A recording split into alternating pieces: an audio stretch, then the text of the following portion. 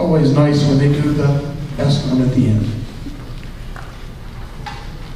Do a little change in here.